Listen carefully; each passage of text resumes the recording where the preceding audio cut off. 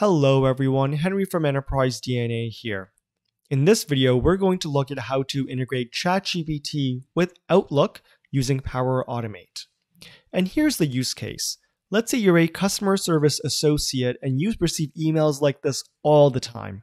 And these emails are really long and hard to read. They're not organized in a way that emails should generally be organized.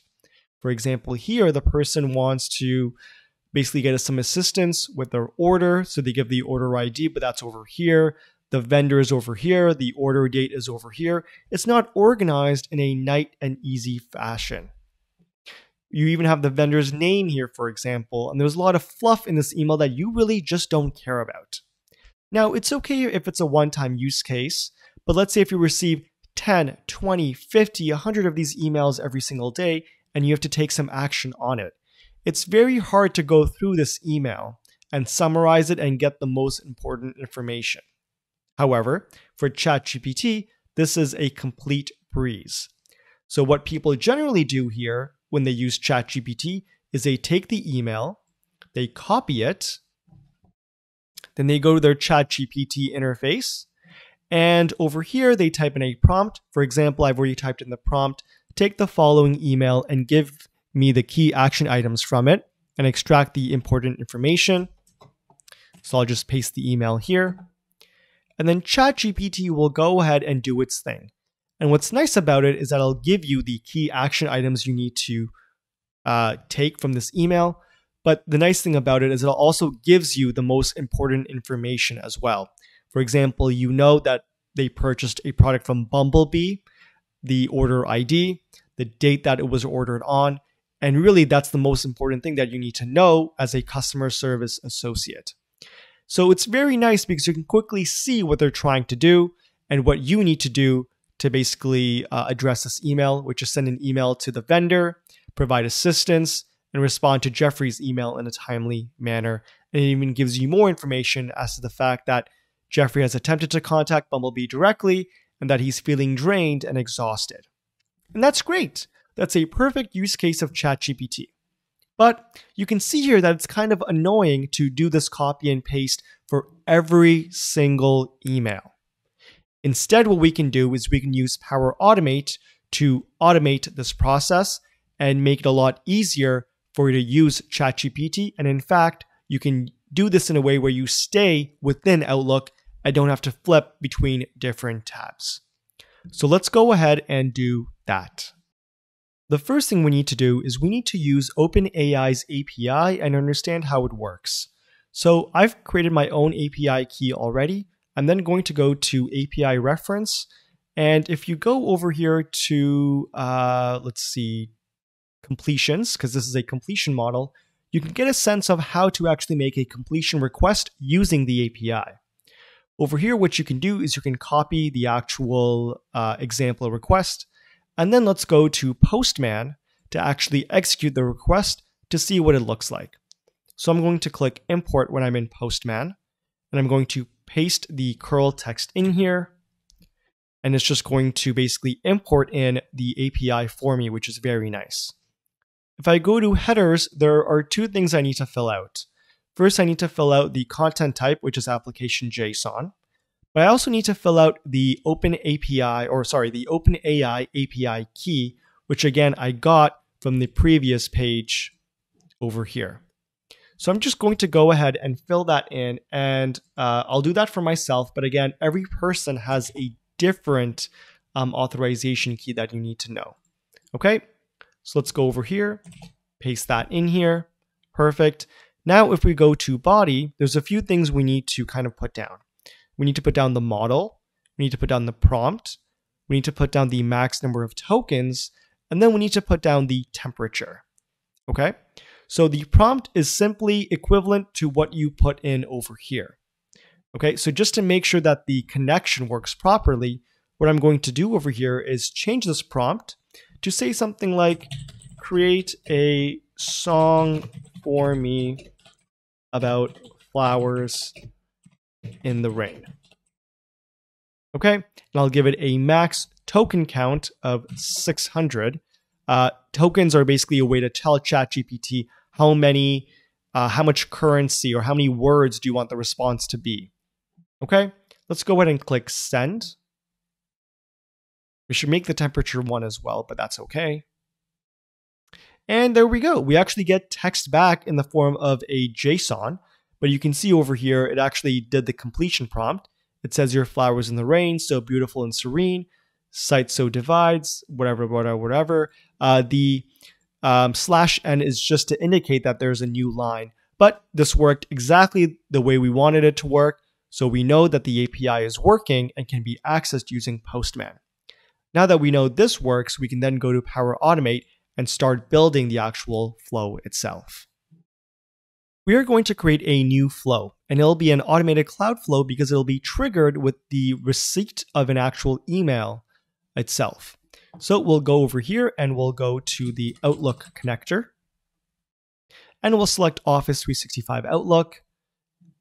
It'll then do its thing, and what we want to do over here is we want to uh, we want to say when a new email arrives. Okay, perfect.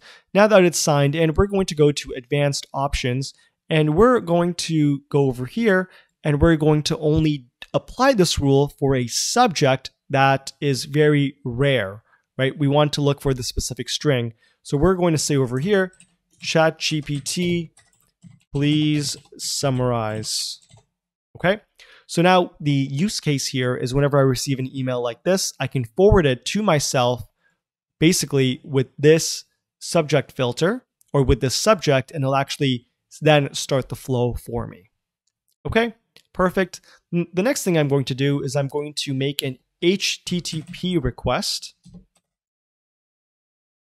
So I'm going to go over here and select uh, HTTP. And I'm basically going to copy the exact settings that I had made in Postman. So the method will be post the URI over here was um, this API slash completions.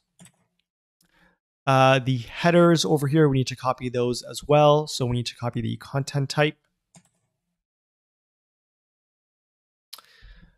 Let me get out of this one over here. Perfect. The content type, which is the application JSON.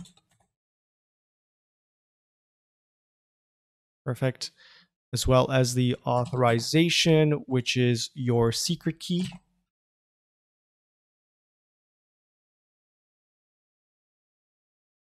Okay, perfect. You then need to enter the body, uh, which contains the actual request that you want to make of ChatGPT. So I'm just going to paste that in here. However, the prompt is not going to be create a song for me about flowers in the rain. It's instead going to be well, the first thing, at least it's going to be, is um, take the following email and give me the key action items from it. So I'm just going to copy this guy here and paste it here.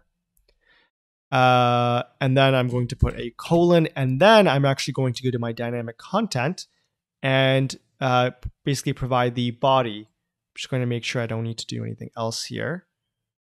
Yeah, perfect. So I'm going to give it the body of the message. Whoops, not over here. It's supposed to be over here where the colon is. Body, perfect.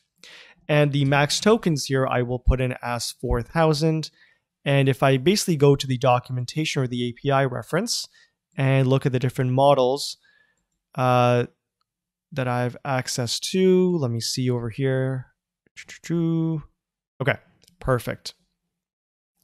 Okay, uh, that's it right there. The next thing we need to do is we actually need to parse through the JSON request that we get back. Okay, so I'm going to go to parse JSON.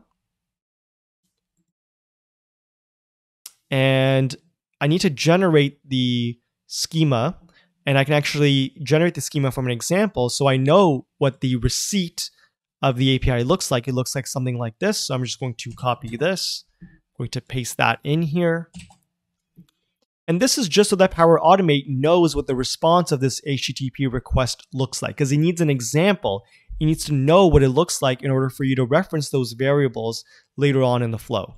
Okay, the content of this will be the body output of this HTTP request. Perfect. We are almost there. Okay, the last thing we need to do is we need to go to back to our Outlook And let's see over here. Export email, flag email, get contact, get contact. Here, reply to email. The message ID that we're, we're that we're replying to is the same message that actually triggered this flow. So we can just find that in here. Message ID. Perfect. The body of this email will be equal to the text JSON element of the output of the HTTP request. So if I go over here to parse JSON, I can see text. I'm going to put that guy in there. And the reason why it gives me multiple apply to each, because technically you can have multiple text properties, although we're, we're actually not going to have that because this is a completion request, not a image request. But that's why you get the apply to each, but you don't need to worry about it because it will only be applied once. Okay? Perfect. So far, so good. Let's go ahead and actually save the flow. And now we will test it by clicking test and then selecting manually. Perfect. So now we actually need to execute this flow. And what we'll do is we will go back over here. We'll get the email that we received.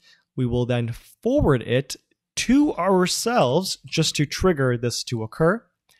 Uh, but basically, what will happen over here is let's say if we receive an email like this and we want to summarize it, we're going to forward it to ourselves and we're going to take the subject and just add that one string to it.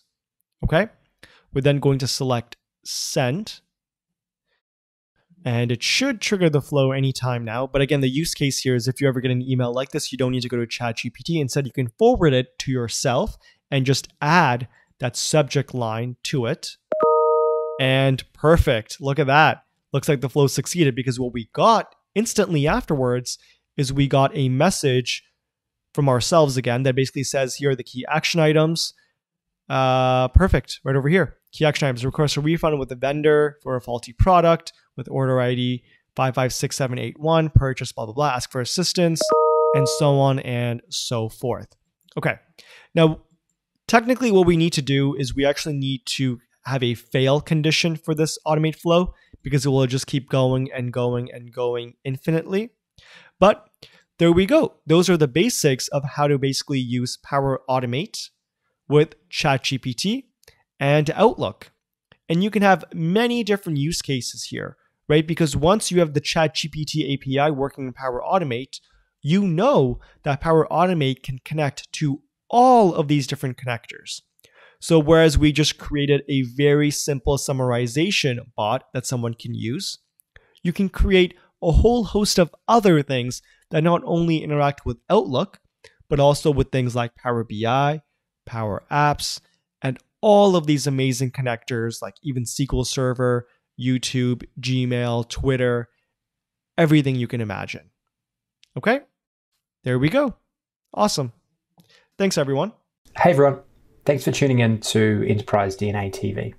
If you enjoyed the contents covered in this particular tutorial, please throw the video a like. It really helps us and we really appreciate it. Also, don't forget to subscribe to the Enterprise DNA TV channel. Uh, we have a huge amount of content coming out all the time from myself and a range of content creators, uh, all dedicated to improving the way that you use Power BI and the Power Platform. Lastly, check out Enterprise DNA's website. Plenty of resources and further learning that you can access very easily. All the best. Take care.